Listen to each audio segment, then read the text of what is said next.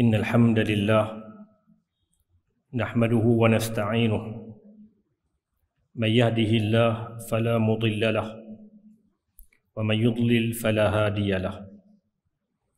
أشهد أن لا إله إلا الله وحده لا شريك له وأشهد أن محمدا عبده ورسوله. اللهم صل وسلم وبارك وأنعم. على حبيبنا ونبينا وسيدنا محمد وعلى آله وأصحابه والتابعين وتابعهم بإحسان إلى يوم الدين. قال رب اشرح لي صدري ويسر لي أمري واحلل عقدة من لساني يفقه قولي. أما بعد. Hadirin mukminin, tuan-tuan dan puan-puan mudah-mudahan dirahmati Allah. Subhanahu wa taala. Alhamdulillah syukur kita pada Allah Subhanahu wa taala dapat kita bertemu lagi pada malam ini dan insya-Allah kita akan sambung siri kisah-kisah sahabat Nabi sallallahu alaihi wasallam. Malam ini insya-Allah kita akan menyebut tentang salah seorang dari tokoh besar yang di antara gelaran yang diberikan kepada beliau ini adalah Safirul Islam. Safir bermakna duta. Duta pertama dalam sejarah Islam adalah sahabat yang kita nak bicara kata kisahnya secara ringkas iaitulah Mus'ab ibn Umair radhiyallahu taala anhu wa arda. Satu nama yang cukup terkenal, satu nama yang sekurang-kurang kalau kita tak tahu kisah detailnya, nama tu pernah kita dengar. Ha, nama nama pernah kita lintah sebagai seorang tokoh di kalangan para sahabat Nabi radhiyallahu taala anhum wa ardah iaitu Sayyidina Mus'ab Mus'ab bin Umair radhiyallahu an. Namanya Mus'ab ha, dengan kalau ikut ejaan ni mim sad. Ha, ain ba. Empat huruf mim sad. Ha, sebab tu dia Mus'ab. Dia nak ejaan ke arah tulisan Rumi ni agak susah lah sebab huruf sad kita nak dia punya tukar kepada huruf Rumi ni ejaannya dia jadi sebutan kurang tepat. Ha, tapi sebutan asalnya ataupun nama asalnya Mus'ab. Ibn Umair Ibn Hashim bin Abdi Manaf bin Abdi Dar bin Qusay bin Kilab. Jadi dari susur galur tu bermakna dia bertemu nasab dengan Nabi sallallahu alaihi wasallam pada datuk yang bernama Qusay. Kadang-kadang ada orang tersilap bila nama dia Mus'ab bin Umair bin Hashim bin Abdi Manaf. Orang kata dia bertemu nasab pada nama Hashim tu.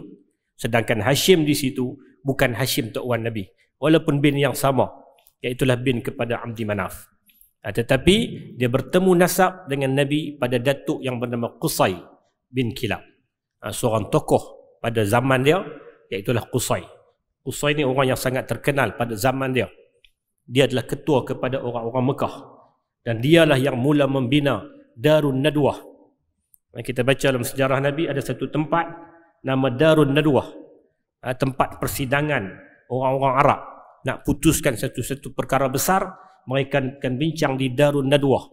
Pengasas kepada Darun Nadwah adalah Qusay ibn Kilab datuk Nabi sallallahu alaihi wasallam.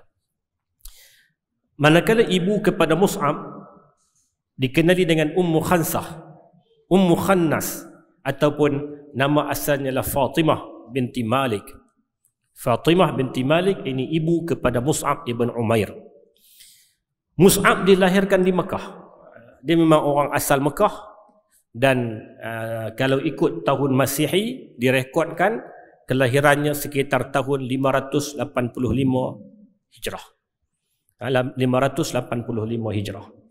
Dia datang dari satu kabilah, satu suku kaum, Bani Abdul Dar.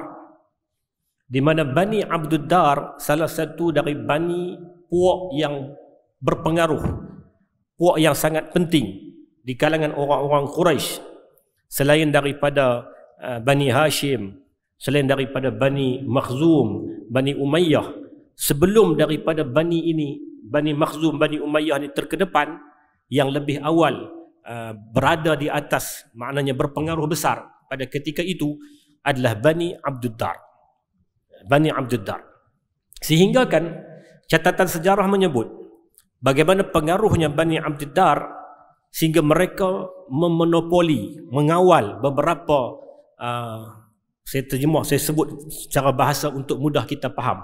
Uh, beberapa kementerian-kementerian utama ketika itu. Walaupun mungkin benda tu tidak secara tepat dalam konteksnya, tapi untuk kita nampaklah.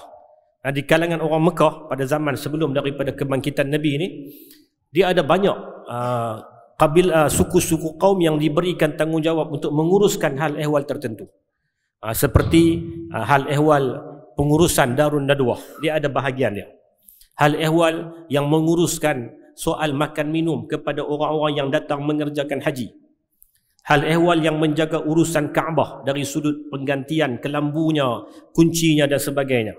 Jadi ini adalah bahagian-bahagian penting dan kebanyakan dimonopoli oleh Bani Abdul Dar pada awalnya sebelum dia berlaku satu uh, tuntutan daripada pihak suku-suku lain dan dibahagikanlah kepada suku yang lebih utama terutamanya Bani Hashim uh, seperti dalam salah satu daripada uh, bahagian utama ni di Mekah pada waktu itu dipanggil siqayah iaitulah urusan untuk menyediakan makan minum khususnya minuman-minuman kepada orang-orang yang datang mengerjakan haji. Dan dia satu benda uh, istimewa. Siapa yang dapat pegang urusan ni, makna dia orang yang uh, berpengaruh lah, pakat berbu lah. Dan asalnya dikawal oleh Bani Abdul Dar. Uh, kemudiannya benda tu diberikan kepada Bani Hashim. Uh, kerana Bani Hashim lebih dekat, uh, lebih lebih apa lebih lebih tinggi dia punya dari sudut kedudukan lah pada waktu itu. Jadi nak bagi tahu kata bagaimana pengaruhnya Bani Abdul Dar sehingga akan banyak bahagian-bahagian utama ni mereka pegang dan selepas daripada uh, dibahagikan ataupun dikuasai oleh pihak lain Bani Abdul Dar ni kekal sebagai pemegang anak kunci Kaabah sehingga hari ini sehingga hari ini daripada Bani Abdul Dar dan juga dikenali sebagai Bani Syaibah hadirin mukminin yang dikasihi sekalian Mus'ab nama Mus'ab bermaksud kuda jantan kerana dia melambangkan orang yang gagah perkasa. Orang zaman tu dia suka bubuh nama anak-anak yang macam tu.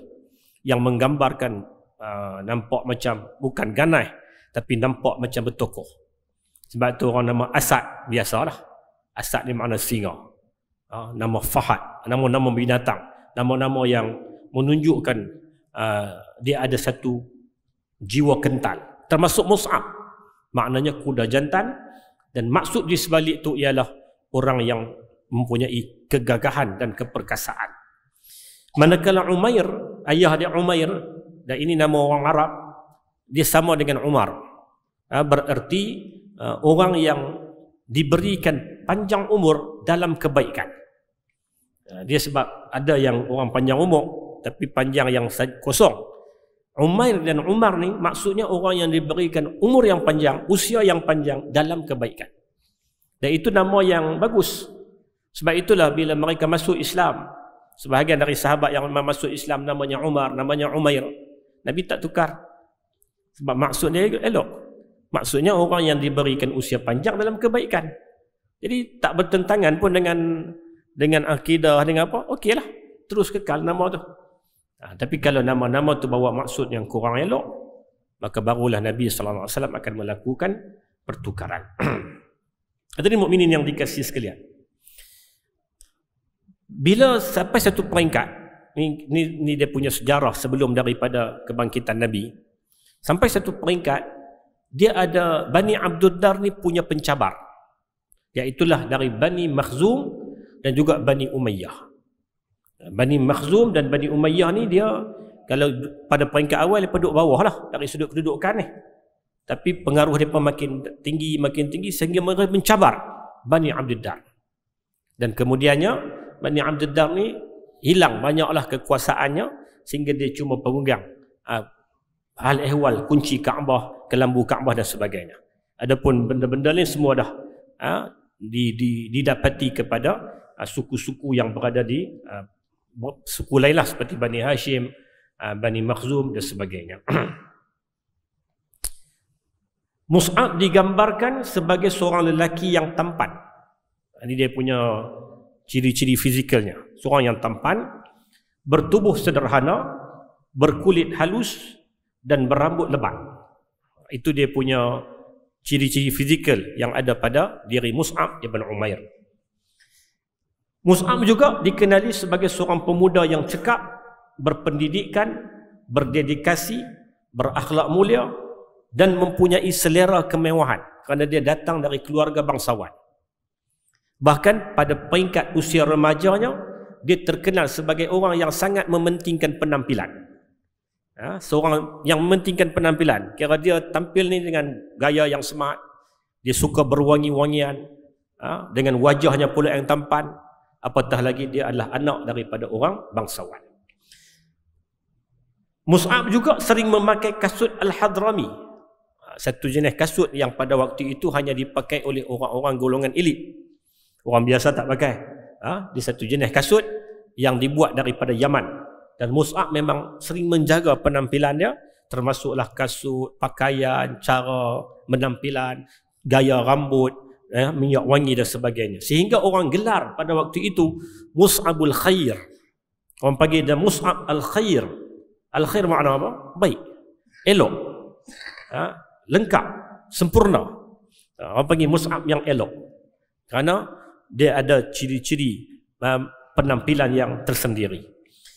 Sehingga kan pernah direkodkan juga Nabi sallallahu alaihi wasallam pernah bersabda Aku tidak melihat seorang pun di Mekah yang rambutnya lebih rapi, berpakaian lebih baik dan sentiasa dipenuhi dengan kesenangan selain daripada Mus'ab ibn Umair radhiyallahu taala anhu. Nabi mengakui uh, direkodkan oleh Ibnu Kathir dalam catatan Bidayah wan Nihayahnya tentang apa yang Nabi sebut pengakuan Nabi dan pengiktirafan Nabi kepada Mus'ab ibn Umair radhiyallahu anhu. Mus'ab bin Umair mempunyai beberapa orang adik-beradik. Adik-beradik yang dapat direkodkan dalam catatan sejarah uh, seorang bernama Abu Aziz ataupun nama asalnya Zurarah ibn Umair. Di mana Zurarah ibn Umair ini waktu perang Badar dia terlibat sebagai tentera musyrikin. Dia tak Islam. Zurarah abang atau adik kepada Mus'ab dia keluar perang. Dalam perang Badar dia berada di pihak musyrikin dan dia ditawan. Dalam perang Badar tuan-tuan faktanya ialah 70 70 musyrikin dibunuh dan 70 ditawan. Apabila 70 ditawan dibawa balik ke Madinah dan dapat satu keputusan mereka boleh dibebaskan sekiranya keluarga mereka datang membayar tebusan membayar jumlah-jumlah tertentu dan pada waktu itu orang yang jumlah uh, tebusan dibayar paling tinggi adalah Zurarah ibn Umair iaitu saudara kepada Mus'ab ibn Umair dengan nilai sebanyak 4000 dirham. Inilah nilai tebusan paling mahal dalam perang Badar. Dia ada dia ada yang murah mengikut latar keluarga lah. Dia ni main dari keluarga mana, keluarga dia mampu tak mana, maka tara tu. Yang paling tinggi daripada 70 orang tawanan yang dibebaskan dan dilepaskan selepas mereka bayar tebusan adalah uh, nama dia Zurarah ibn Umair iaitulah saudara kepada Mus'ab ibn Umair. Tapi dia tak Islam. Dan catatan sejarah menyebut sampai akhir dia tak Islam. Ya, yang kata Zurarah ibn Umair. Mus'ab juga ada seorang lagi saudara mungkin abang mungkin adik namanya Abu Yazid bin Umair. Juga tak Islam. Dan dia juga menyertai uh, dalam perang Uhud ah, perang Uhud di pihak orang-orang musyrikin. Yang ketiga saudara Mus'ab yang ni Islam yang ni sahabat. Namanya Abu Rum ataupun nama asalnya Mansur ibn Umair radhiyallahu an dikenali dengan Abu Rum.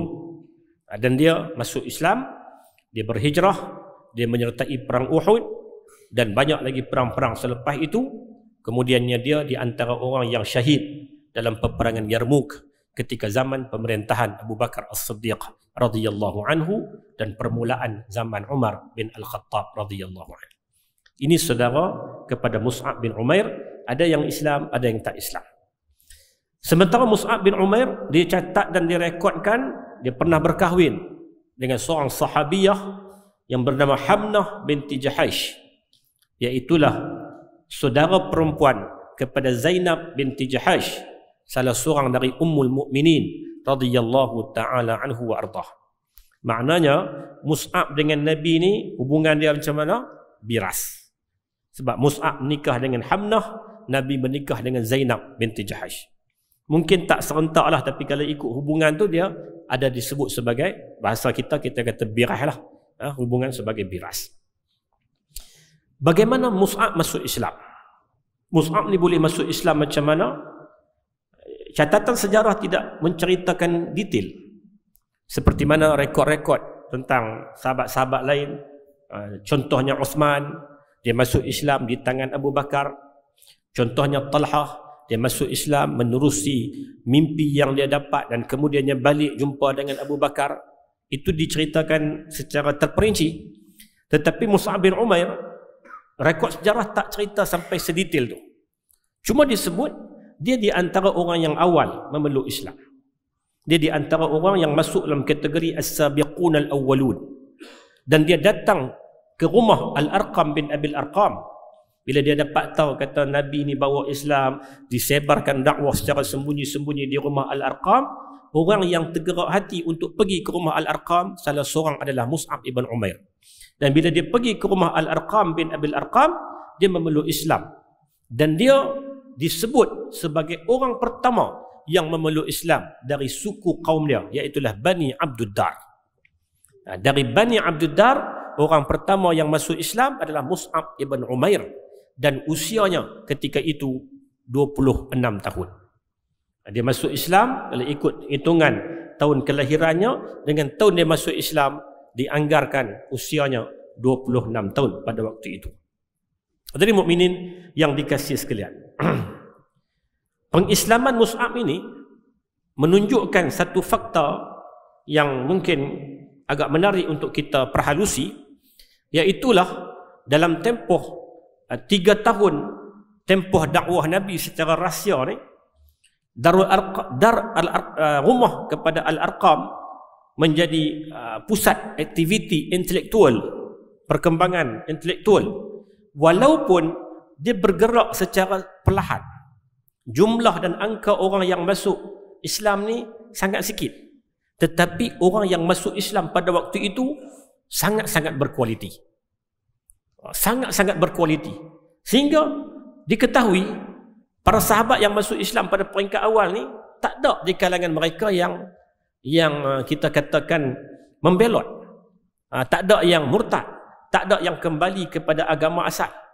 Orang-orang yang masuk peringkat awal. Kerana yang masuk pada peringkat-peringkat awal ni memang sangat-sangat berkualiti. Dari sudut intelektual, dari sudut pemikiran, dari sudut kesediaan mereka untuk disemai dengan tapak-tapak hidayah. Ha, jadi Allah Subhanahu Wa Taala takdirkan orang-orang yang masuk Islam peringkat awal ni sabiqun dia bukan takat orang-orang biasa tapi orang yang punya kelebihan kecerdikan tersendiri sehingga mereka menjadi pendukung kepada dakwah Nabi sallallahu alaihi wasallam dan salah seorang adalah Mus'ab ibn Umair radhiyallahu taala anhu warda. Apabila dakwah Nabi terbuka dan orang Mekah dapat kenal, oh adik-beradik ni masuk Islam. Adik-beradik ni masuk Islam. Mereka uh, orang Arab pada waktu itu Orang yang dari suku berasingan tak akan ganggu orang yang dari suku lain. Sebagai contoh, Mus'ab dari Bani Abdul Dar. Katalah orang dari Bani Makhzum tahu kata Mus'ab masuk Islam. Mereka tak akan apa-apakan. Kerana ini suku lain. Ha? Paling kurang mereka akan report kepada Bani Abdul Dar dah. Tapi mereka tak pergi untuk ambil tindakan fizikal. Sebab kalau mereka ambil tindakan fizikal kepada Bani Abdul Dar, orang dari Bani Abdul Dar akan isytihar perang kepada Bani Makhzum. Jadi dia pun tak mau benda-benda itu berlaku. Tetapi kalau sahabat-sahabat yang masuk Islam ni dari kalangan uh, dia panggil uh, orang yang tak ada keluarga. Uh, orang yang datang dari luar kemudian berlindung di Mekah. Macam contoh yang kita baca pada bulan lepas. Ammar ibn Yasir. Dia tak ada keluarga. Uh, jadi orang yang macam ni kalau dia tahu kata dia masuk Islam. Orang Mekah akan ambil tindakan fizikal. Tak kira dari bani mana-mana pun. Oleh kerana hak ni tak ada keluarga. Maka sebab itu, Mus'ab bila masuk Islam, dia agak selamat sikit dari penderaan fizikal pada peringkat awal. Kemudiannya, bila didedahkan tentang keislamannya, ada orang pergi report kepada adik-beradik dia dari Badi Dar. Kata dia dah masuk Islam. Ah, barulah pada peringkat itu, dia berhadapan dengan tekanan daripada adik-beradik dia. Dia berhadapan daripada tekanan adik-beradik, ah, saudara mara yang berada terdekat dengan dia. Satu ketika, Mus'ab ibn Umair dia ni menjadi pengunjung setia lah kepada Darul Dar Arqam ni, rumah Al Arqam ni. Ha, dia pergi, dia belajar, dia dengar ayat-ayat Quran yang turun pada waktu itu. Sehingga uh, rahsianya itu dapat diketahui oleh seorang yang bernama Uthman ibn Talhah. Dan Uthman ibn Talhah ni adalah pemegang anak kunci Kaabah. Waktu tu dia masuk belum masuk Islam. Dia masuk Islam lambat nanti. Selepas dari Fathu Makkah baru dia masuk Islam. Waktu tu dia dia tengok dan dia tahu dia dari Bani Abdul. Maka dia ni balik repot. Bila dia tengok Mus'ab ni duduk di rumah Al-Arqam. Satu ketika dia tengok Mus'ab ni dirikan salat. Maka dia duduk kumpul maklumat-maklumat ni. Dia balik repot kepada keluarga Mus'ab. Oh ni Mus'ab ni dah Islam ni, dah ikut Muhammad. Uh, bawa ajaran pecah belah. Menyebabkan uh, mak kepada Mus'ab mula tak puas hati. Ummu Khannas yang dikenali yang nama asalnya Fatimah tadi tak puas hati. Sedangkan dalam hidup Mus'ab orang yang dia paling sayang mak dia lah. Tapi mak dia tak boleh nak terima kenyataan kata dia masuk Islam. Maka mak dia ambil hukuman, ambil tindakan, kurung dia, penjara dia, tekan dia, paksa dia untuk tinggalkan ajaran Nabi. Ha? tapi Mus'ab tetap konsisten dia tolak semua permintaan daripada ibunya dia tetap dengan penderian untuk bersama dengan Nabi sallallahu alaihi wasallam. Lalu dia dikurung. Ha, dia dipenjara dia tahan tak boleh pergi mana. Keluarga dia kawai dia ha, sehinggalah para sahabat berhijrah ke Habsyah dan dia pun turut sama untuk meloloskan diri dan berjaya berhijrah ke ke Habsyah. Kemudian lepas daripada hijrah ke Habsyah dia kembali semula ke Mekah. Ha, dia kembali semula ke Mekah. Dalam satu hadis, walaupun hadis ini dinilai sebagai dhaif, kata Nabi sallallahu alaihi wasallam, "Unzuru ila hadzal rajul allazi qad nawwara Allahu qalbah. Laqad ra'aituhu baina abawaini yughadhiwanahu bi atyabi at-ta'ami wash-sharab." fada'ahu hubbullahi wa rasulihi ila ma tarawun hadis riwayat dari Abu Nuaim kata Nabi sallallahu alaihi wasallam maksudnya lihatlah kamu lelaki ini Nabi kata kat sahabat kamu tengok lelaki ini seorang lelaki yang hatinya diberi cahaya oleh Allah aku melihat dia adalah kesayangan ibu bapaknya dan menikmati makanan dan minuman yang terbaik Oh, dia ni, hamba tengok dia ni. Nabi isyaratkan kepada Mus'ab lah. Dia ni orang hidup ni kira betul lah. Hidup dalam keluarga yang kaya raya, yang keluarga mewah. Hidup ni penuh benda-benda tu. Tapi, kata Nabi, cintanya kepada Allah dan Rasulnya membawanya kepada keadaan seperti sekarang. Bila dia masuk Islam, tak ada apa. Dia tinggalkan segala kemewahan. Sebab dia pilih Islam. Sedangkan dia hidup di keluarga bangsawan. Tapi bila dia Islam, dia dibuang oleh keluarga dia sampai tak ada apa. Dan Nabi mengakui, ha, dalam nanti kita akan tengok bagaimana ketika dia meninggal, Nabi menangis kerana terkenangkan kehidupan Mus'ab. Sebelum daripada Islam, mewah dia. Senang dia. Bergaya dia. Tak fikir tentang ni, semua ada. Makan, minum mewah. Tapi bila dia pilih Islam, dia pilih Allah dan Rasul, dia terpaksa untuk menerima hakikat inilah perjuangan ada ketikanya dia perlu untuk menempuh segala ujian-ujian dari Allah Subhanahu wa taala kata Sa'ad bin Abi Waqqas menceritakan tentang Mus'ab ibn Umair dia kata aku melihat Mus'ab semasa kemewahannya dan juga sesudah pengislamannya beliau banyak menerima penderitaan di jalan Allah dahulu sebelum Islam dan bersama ibu bapaknya. Beliau adalah seorang pemuda yang bergelumang dengan kemewahan. Sekarang aku melihat beliau berjuang dengan sungguh-sungguh di jalan Allah hingga aku pernah menyaksikan kulitnya kering bersisik seperti sisik ular. Kemudian muncul kulit baru. Kata Sa'ad bin Abi Waqqas dulu ni Mus'ab kalau hampa nak tahu kehidupan dia oh orang mewah. Hidup dengan keluarga senang. Ha? kemudian bila dia pilih Islam habis. Harta benda tak ada. Tapi dia tetap berjuang. Sehingga kan digambarkan apa? Kulit ni kering. Dan abang kata sampai sampai sungguh-sungguh punya berjuang ni kos untuk nak ubat-ubat ke apa kata tak tak mampu. Tapi terus berjuang. Dan inilah Mus'ab bin Umair yang nanti kita akan tengok pengakhirannya macam mana. Pengakhirannya di medan Uhud ketika peperangan Uhud dan dia salah seorang daripada pahlawan yang gugur syahid pada ketika itu. Peranan besar Mus'ab ibn Umair yang dianggap sebagai benih gerakan dakwah ha, dalam Islam ni dia bermula selepas Nabi sallallahu alaihi wasallam bertemu dengan 12 orang daripada Madinah ha, lalu berlakulah apa yang disebut sebagai bai'atul aqabah yang pertama Nabi bertemu dengan 12 orang mai dari Madinah buat bai'ah buat perjanjian sumpah setia perjanjian taat setia dengan Nabi dan peristiwa itu berlaku di mana? Di satu lokasi berdekatan dengan Mina iaitulah dipanggil sebagai Aqabah.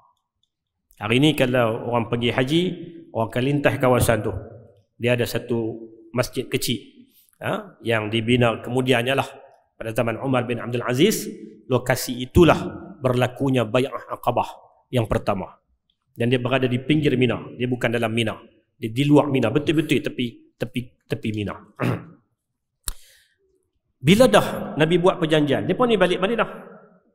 Nabi duduk di Mekah.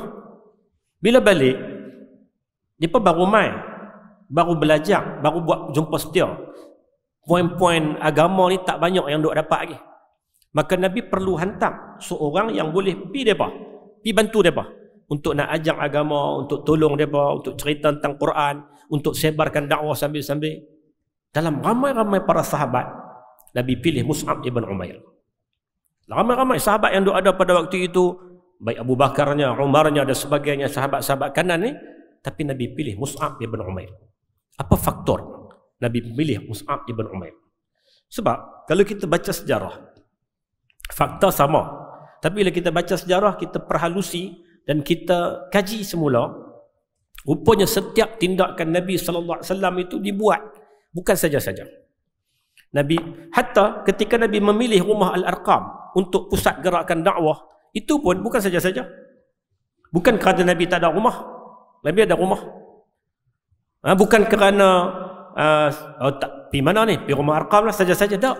Tapi kerana banyak pertimbangan. Antaranya faktor yang Nabi pilih rumah Al-Arqam kerana Arqam bin Abil Arqam dari Bani Makhzum dia dari Bani Makhzum, keluarga Abu Jahal yang merupakan musuh utama Nabi pada waktu itu.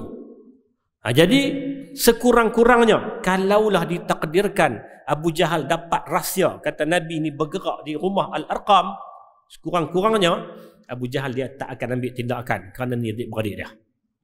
Ha, itu strategi. Ha, strategi Nabi.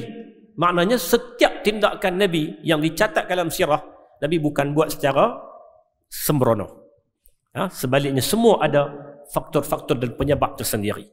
Termasuklah pemilihan Mus'ab ibn Umair untuk dihantar sebagai duta pertama pergi ke Madinah. Apa faktornya? Apa sebabnya? Yang pertama, Mus'ab adalah orang yang matang. Dia terkenal sebagai orang yang matang dari sudut pemikirannya. Ha? Kerana usianya pun pada waktu itu 36 tahun. Ha, dia dah masuk Islam waktu umur 26, peristiwa ini berlaku 10 tahun selepas itu usianya 36 yang melayakkan untuk ha, Nabi nak pikul tanggungjawab yang agak besar ni. Iaitulah sebagai duta pertama. Oh, takkan Nabi nak pilih orang-orang eh? pilih yang ada ke kelayakan. Dari sudut usia dan juga kematangan. Yang kedua kenapa Nabi pilih Mus'ab? Kerana Mus'ab ada pengalaman. Pengalaman interaksi dengan orang luar Mekah. Kerana dia pernah hijrah ke Habsyah. Dan dia pernah duduk di Habsyah. Dalam tempoh yang agak munasabah. Maknanya dia pernah berinteraksi dengan orang luar. Ini Nabi hantar pergi Madinah, luar dari Mekah ni. Jadi Mus'ab ada pengalaman tu. Nabi tak pilih orang yang duduk di Mekah walaupun dia masuk Islam lama dengan Nabi. Dia duduk di Mekah tak pergi mana? Dia kurang dari sudut pengalaman. Kerana Nabi pilih Mus'ab ibn Umair. Yang ketiga, Mus'ab ini datang dari keluarga bangsawan. Bila dia main dari keluarga bangsawan, percakapannya itu lebih didengari oleh orang lain. Ha? orang sasaran dakwah ni dia akan dengar ucapan oh, main dari mana ni? Keturunan mana ni?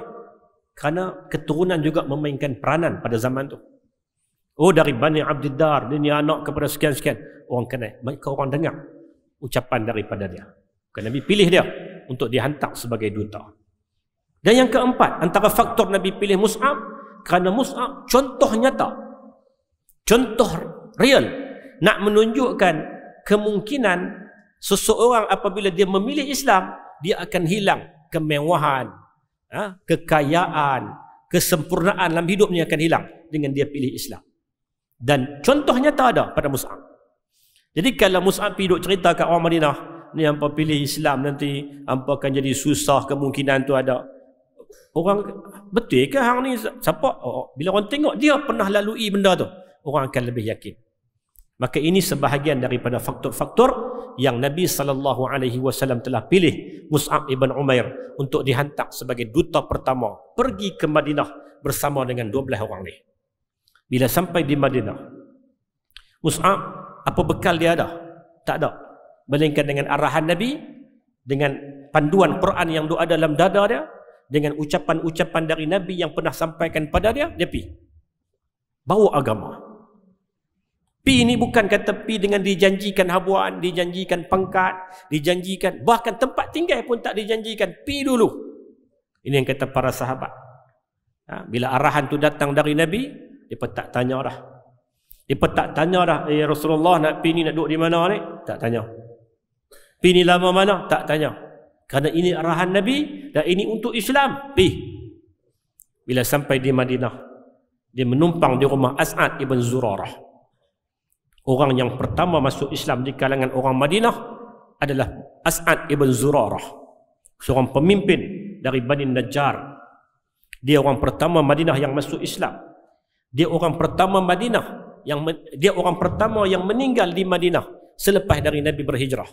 Dia orang pertama yang dikebumikan di perkuburan Baqi' al-Arqad. Ini As'ad ibn Zurarah radhiyallahu taala anhu wa arda. Jadi Mus'ab ni menumpang di rumah As'ad. Bila menumpang, dia bukan duduk saja, dia bukan pergi makan angin. Tapi sekadar teman-teman tak, dia buat kerja. Apa kerja dia? Selain daripada dia ajak agama kepada yang dah masuk Islam, dia cuba pergi jumpa dengan ketua-ketua kaum yang ada di Madinah ni untuk dia sampaikan mesej agama. Yang akhirnya, di antara kejayaan paling besar Mus'ab ibn Umair apabila dia berjaya menarik Sa'ad ibn Mu'az untuk masuk Islam. Dia berjaya menarik Usaid ibn Khudair. Dua orang tokoh utama dari satu suku yang besar di Madinah. Namanya suku Abdul Ashhal. Bila dia tarik dua pemimpin ni, seluruh Bani Abdul Ashhal masuk Islam. Hasil daripada dakwah Mus'ab ibn Umair. Sebutlah nama-nama tokoh orang-orang Madinah. Muaz ibn Jabal, Amr ibn Jamuh, Eh, siapa lagi? Sebutlah nama senarai tokoh-tokoh Madinah ni. Hampir kesemuanya. Bila dibaca semula kisah mereka, mereka masuk Islam dari tangan siapa? Dari tangan Mus'ab ibn Umair radhiyallahu Jasa besar Mus'ab dalam mengembangkan dakwah Nabi sallallahu alaihi wasallam di Madinah. Maka dengan peranan Mus'ab, pemimpin Aus, pemimpin Khazraj masuk Islam. Dan Islam dari hari ke hari berkembang. Berkembang daripada seorang jadi sepuluh orang. Daripada satu kumpulan kecil jadi satu kampung. Sehingga dia telah menggegar keadaan orang-orang Yahudi di Madinah. Dari sudut budayanya dari sudut sosialnya dari sudut pertembungan politiknya dia telah mula menggegar orang-orang Yahudi Madinah. Yahudi pada waktu itu kuasa di Madinah.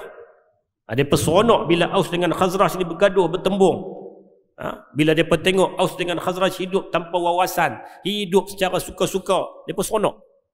Tapi bila mai Mus'ab bin Umair, ajak dia masuk Islam, bila terima masuk Islam, dan di antara pengaruh besar Mus'ab ni, apa dia? dia berjaya untuk tarik kumpulan yang besar seramai 75 orang untuk bawa pergi ke Mekah jumpa dengan Nabi sallallahu alaihi wasallam buat perjanjian Aqabah yang kedua hasil daripada usaha Mus'ab bin Umair. Dia bukan takat ajak dia masuk Islam lepas tu kosong tak. Dia susun rancang. Dah tahun berikutnya jom kita pergi Mekah. Kita jumpa dengan Nabi. Kita buat bai'ah di sana. Dan itulah peristiwa yang dipanggil bai'atul Aqabah yang kedua. Jumlah yang lebih ramai. Kalau pertama 12 orang kali kedua sudah meningkat sampai 75 orang. Balik daripada sana, Mus'ab terus lagi buat kerja. Dan hasilnya apa? Kemajuan yang daripada uh, kerja-kerja dakwah Mus'ab ni berjaya apa? Dia berjaya untuk mengurangkan ketegangan pertembungan di antara Aus dan Khazraj. Aus dan Khazraj ni dua kelompok. Aus ni nama orang asal. Khazraj nama orang. Yang depan dua beradik. Pada peringkat awal dua beradik. Kemudian lahir keturunan-keturunan mereka. Keturunan ini nama Aus, keturunan ini dipanggil Khazraj adalah tak belaga ngintang mana berbalah. Dan Aus dengan Khazraj hidup berpuluh tahun dengan keadaan permusuhan. Kerja perang kerja bertelagah tak pernah setuju. Tak ada kesepakatan. Tapi dengan datangnya Mus'ab ke Madinah dia berjaya untuk mengkendurkan hubungan dua ketegangan daripada dua-dua pihak ni. Walaupun tidaklah seratus peratus dia tak jadi rapat terus, dia tak jadi baik terus, ada sikit-sikit lagi pertembungan tapi makin kurang. Hasil daripada dakwah Mus'ab. Ini satu benda yang luar biasa. Satu benda yang luar biasa. Sebab itu Mus'ab terkenal sebagai tokoh yang boleh mendamaikan pertelagahan di antara dua dua puak besar. Dan apabila Nabi sallallahu alaihi wasallam sampai, oh, habis ya. Hilang habis pertelagahan yang berlaku sebelum-sebelum ni dan mereka semua hidup sebagai seorang ah, sebagai kaum muslimin. Tanpa tengok oh kamu Aus ke kamu Khazraj ke kamu orang Madinah kamu orang Islam. Maka hidup semua di atas kesatuan Islam. Hadirin mukminin yang dikasihi dan dirahmati Allah Subhanahu wa taala. Dalam beberapa sumber juga dinyatakan Ah, selain daripada peranan Mus'ab sampaikan Islam di Madinah ni dia juga adalah orang pertama yang mendirikan salat Jumaat di Madinah. ah, pun begitu riwayat yang lebih ah, sedikit kuat menyatakan orang pertama yang mendirikan Jumaat di Madinah adalah As'ad ibn Zurarah dan kemungkinan boleh digabungkan bahawa mereka bersama pertama mendiri secara bersama mendirikan salat Jumaat di Madinah adapun Nabi sallallahu alaihi wasallam Waktu sampai di Quba dan kemudiannya Nabi berjalan sikit sampai di satu kawasan Wadi Ranuna, Rauduna. Di situlah Nabi mendirikan salat Jumaat. Ha, salat Jumaat pertama Nabi sallallahu alaihi wasallam. Sebab di, di Mekah tak ada nak buat. Di Mekah ni tak ada tak ada ruang. Nak semayang pun kena sembunyi-sembunyi. Apatah lagi salat Jumaat.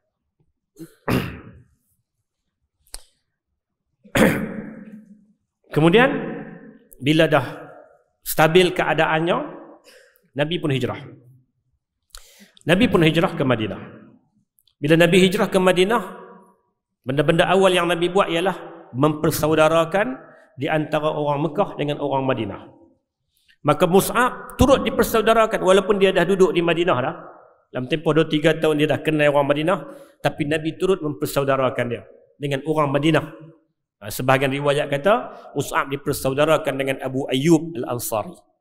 Sebahagian riwayat menyebut dia dipersaudarakan dengan Zakwan ibn Abi Qais. Ha, yang penting ha, dia dipersaudarakan dengan orang Madinah. Apa tujuan persaudaraan yang Nabi buat ni? Ialah nak gabung jalinkan kemahiran. Sebab orang Mekah dengan orang Madinah ni masing-masing ada benda yang mereka lebih. Ada benda yang mereka kurang. Orang Madinah sebagai contoh, selalu saya bagi contoh macam ni. Orang Madinah mahirnya ialah pertanian. Orang Madinah ni mahir dalam pertanian. Mereka pandai tanam. Mereka pandai untuk uh, buat uh, proses apa gabung jalin antara kurma ni dengan kurma ni lahirlah ataupun muncullah satu kurma baru. Dia pandai bidang tu. Orang Mekah nak suruh tanam tak erti. Mekah tempat yang memang terkenal sebagai kontang. Tapi orang Mekah mahirnya di mana? Perniagaan. Orang Mekah ni ahli perniagaan. Sejak daripada zaman berzaman. Sedangkan orang Madinah, Aus dan Khazraj, bak perniagaan ini kurang. Ada, tapi kurang. Kerana perniagaan Madinah dikuasai oleh Yahudi. Jadi bila Nabi mai, Nabi persaudarakan orang Mekah dengan orang Madinah, Nabi gabung jalinkan dua-dua ni, masing-masing guna kemahiran masing-masing, maka menyebabkan Yahudi telah tergugat.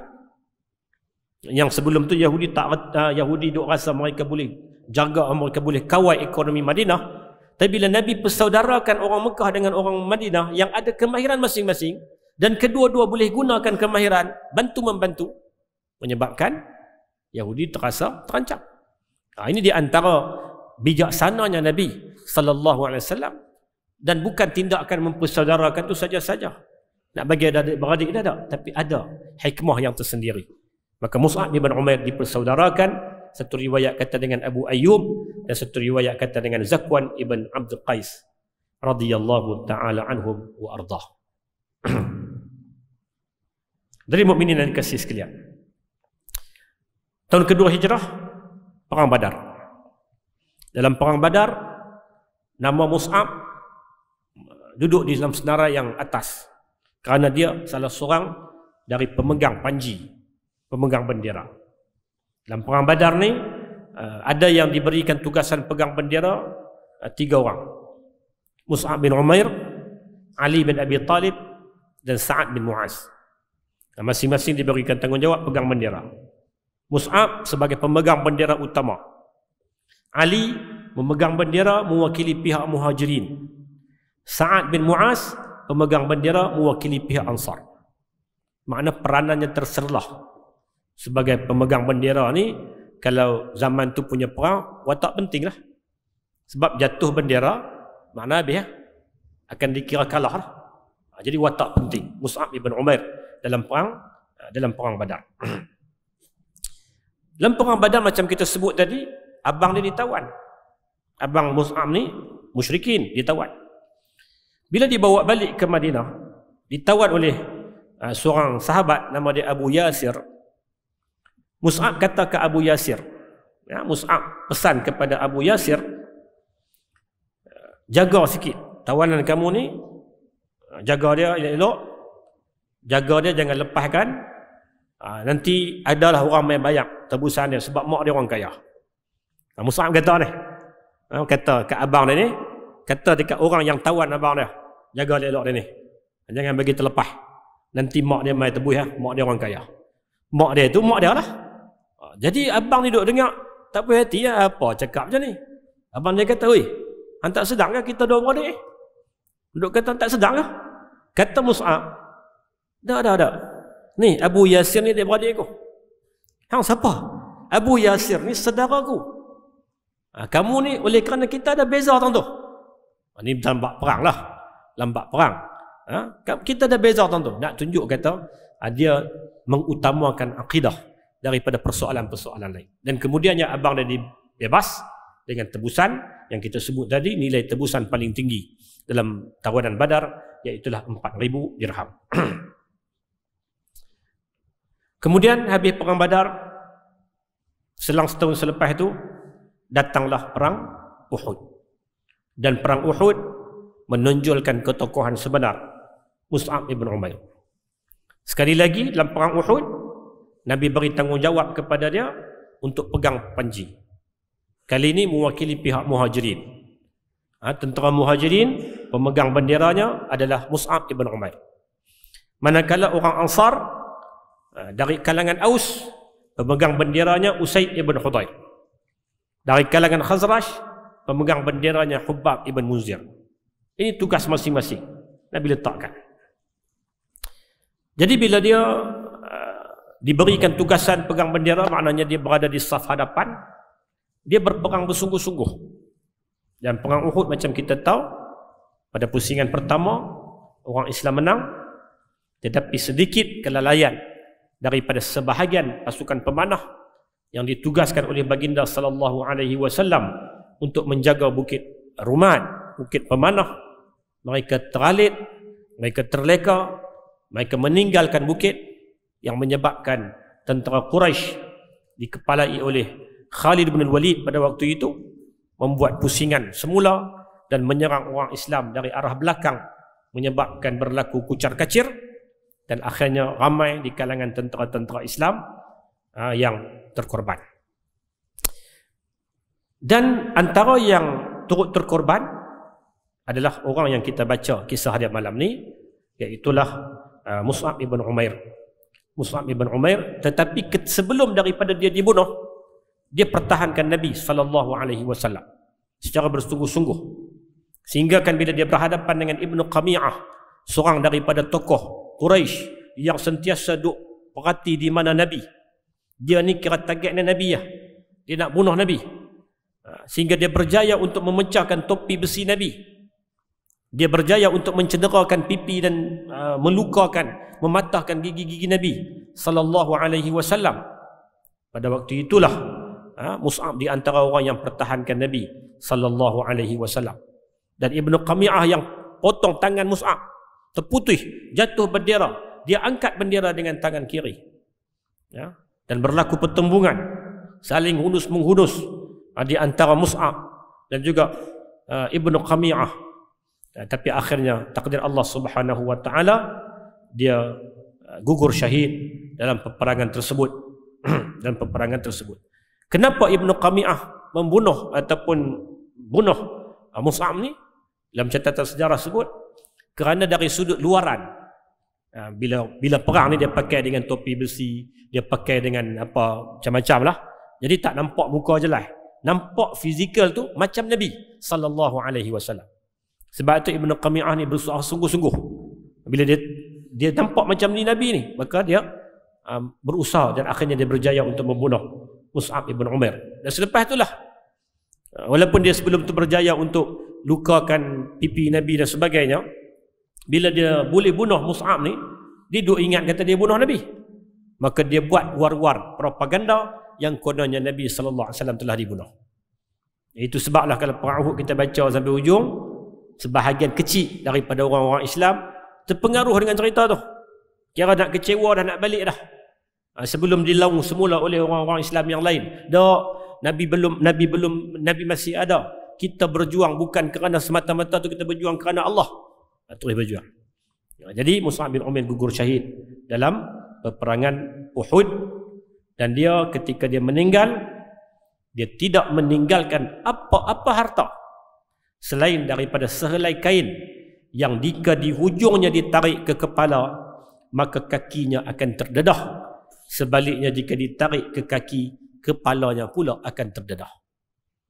Musa bin Umar anak orang kaya anak bangsawan hidup mewah pada peringkat awal masuk Islam tinggal segala kemewahan. Nabi sedih dah pada waktu tu. Bila dia meninggal nak ke bumi ni kain yang ada tak boleh nak tutup seluruh badan. Sekali lagi Nabi sallallahu alaihi wasallam berduka cita melihat keadaan Mus'ab ibn Umair. Dan akhirnya Nabi suruh tutup uh, kain itu guna untuk tutup kepala sementara kakinya ditutup dengan daun izkhir, satu jenis daun tumbuhan yang ada di Madinah pada waktu itu. Kemudian Nabi berdiri dekat dengan para syuhada Uhud termasuk Mus'ab. Nabi baca ayat Quran minal mu'minina rijalun sadaqu ma ahadullah alaih faminhum man qada nahbah wa minhum man yantazir wa ma baddalu tabdila dalam kalangan orang yang beriman ada orang yang benar-benar menunaikan perkara yang dijanjikan kepada Allah untuk berjuang membela Islam dan antara mereka ada yang selesai menunaikan janjinya itu dengan nyawa dan ada pula yang menunggu giliran dan mereka pula tidak mengubah perkara yang mereka janjikan itu walau sedikit pun. Ayat ni cerita tentang pendirian para sahabat. Sahabat ni sadaqu ma'ahadullah alaih. Di antara ciri para sahabat mereka benar dan jujur ketika mana mereka buat perjanjian dengan Allah. Apa perjanjian dengan Allah? Agak perjuangan ini untuk agama. Kehidupan ini untuk agama. Faminhum man qada nahbah sebahagian dari mereka menunaikan janji. Mana apa mereka tergugur jalan jalan Allah. Wa minhum may yantazir. Ada lagi yang duk tunggu giliran. Wa ma baddalu tabdila. Sama ada yang dah berlalu ataupun yang duk tunggu giliran. Sahabat ni punya jati diri. Wa ma baddalu tabdila. Mereka tak pernah merubah janji-janji mereka. Hadirin mukminin yang dikasih sekalian, ha, saya nak tutup, ha, saya nak tutup ha, sebelum daripada muazzin azan, kita tutup sikit ayat ringkas ya. Nabi sallallahu alaihi wasallam bersabda dalam sebuah hadis, Nabi kata, "Ana syahidun ala haula. Innahu ma min jarihin yujrahu fillah yab'athuhu yawmal qiyamah yadma jurhuhu al-lawnu lawnu damin war-rihu rihu miskin." atau kama qal ya, disebut dalam kitab Ibnu Hisham. Kata Nabi, aku menjadi saksi atas mereka. Tidak ada yang terluka kerana Allah, melainkan Allah membangkitkannya pada hari kiamat. Lukanya berdarah, warnanya berwarna darah, namun aramanya adalah minyak kasturi. Anna syahid Nabi kata aku jadi saksi ke atas orang-orang yang berjuang jalan Allah. Mereka gugur jalan Allah. Mereka akan dibangkitkan dalam keadaan luka darah. Tapi darah itu akan menghasilkan haruman seperti mana riyah misk haruman kasturi. Maka Mus'ab bin Umair bila dia meninggal sahabat rapat dia yang bernama Amir bin Abi Rabi'ah radhiyallahu an. Memberikan pengakuan memberikan penyaksian. Kata Amir bin Rabi'ah Mus'ab bin Umair adalah sahabat aku. Sejak daripada beliau meluk Islam sampai dia gugur syahid di Uhud. Semoga Allah mengampuninya. Beliau menemani kami dalam dua kali hijrah ke Habsyah dan teman seperjalananku. Aku perlu mengatakan yang aku belum pernah melihat orang dengan sifat yang lebih baik daripada beliau ataupun orang yang hampir dengan karakternya. Seorang kawan, seorang teman, seorang sahabat memberikan penyaktirafan kepada sahabat dia. Dalam tempoh panjang dia kata, aku berkelana, aku mengembara bersama dia. Kami masuk Islam, kami bersama dengan Nabi, aku tak pernah jumpa orang yang macam dia. Dari sudut kebaikan, ketulusan, kebenaran dan keberanian yang dia bawa agama. Sampaikan bila Nabi arahkan pi mana saja, dia boleh pi. Inilah Mus'ab ibn Umair, tokohnya. Dia meninggal ketika dia berusia 40 tahun dan dikebumikan di perkuburan syuhada Uhud. Ha? Yang menguruskan perkebumian dia adalah adik dia iaitulah Abu Rum ibn Umair dan juga Amir bin Rabi'ah radhiyallahu taala anhum wa ardah. Moga-moga Allah taala meridai mereka dan moga-moga Allah taala merahmati kita yang membaca kisah-kisah hebat dari para sahabat pejuang-pejuang yang bersama dengan baginda sallallahu alaihi wasallam. Moga-moga ada manfaat daripada kisah para sahabat.